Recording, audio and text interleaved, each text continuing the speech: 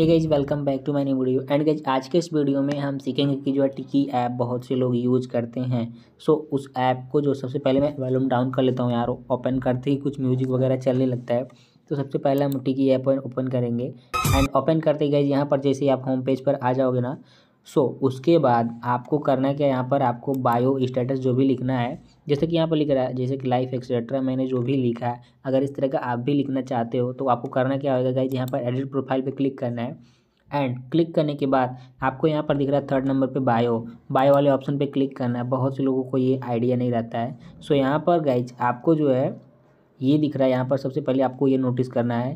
अस्सी वर्ड लिखने हैं आपको मतलब अस्सी वर्ड से ज़्यादा नहीं होने चाहिए। कम रहेंगे तो चलेंगे। अगर उससे ज़्यादा रहेंगे सो आपको मैं बता दूँ, अगर ये लाइन अस्सी वर्ड से ज़्यादा, ये जितने भी अक्षर मैंने डाले हैं इसमें सो ये दिखेंगे नहीं आपको। अस्सी वर्ड इसमें आएँगे। सो आपको एक्स्ट्रा अगर मैं क्लिक, आपको दिख रहा, आपको यहाँ पर दिख रहा होगा, मैं टाइप कर रहा हूँ, बट इसमें फिल नहीं हो रहा है।